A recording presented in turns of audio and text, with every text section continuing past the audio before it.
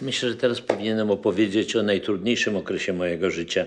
Mianowicie po tych pierwszych sukcesach i po pierwszej takiej wyraźnej klęsce postaci lotnej zacząłem poszukiwać dla siebie mm, no, nowych y, tematów. Zacząłem szukać, jaki mógłbym zrobić film.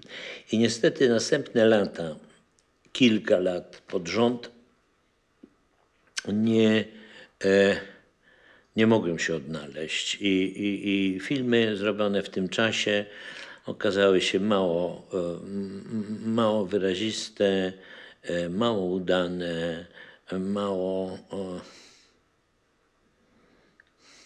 No, krótko mówiąc, co roku robiłem jeden film.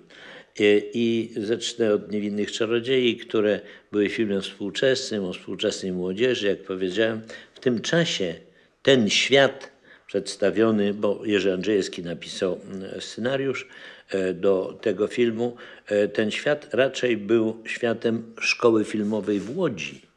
I myślę, że lepiej by ode mnie zrobili ten film wtedy młodzi reżyserzy, Romek Polański czy inni. Krótko mówiąc, zanurzyłem się w jakiś świat, nie do końca był moim światem. Jeszcze w dodatku nie mogłem znaleźć aktorów takich, y, którzy by stanowili tą parę. Nie myślę, żeby to była najlepsza rola Tadeusza Łomnickiego. On musiał grać y, takie kogoś wykreowanego. Tymczasem e, e, powinno się znaleźć po prostu aktora, który by był mm, czu- jakby osobą tego czasu.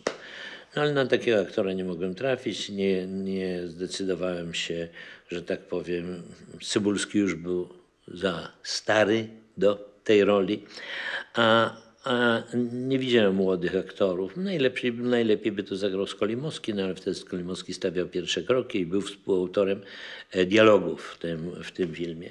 Także to jest film. e, Potem wróciłem do, e, jeszcze raz do tematyki wojennej.